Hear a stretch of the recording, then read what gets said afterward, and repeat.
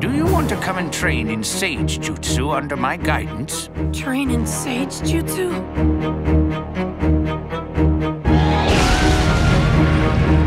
Is Naruto Uzumaki in this village or not?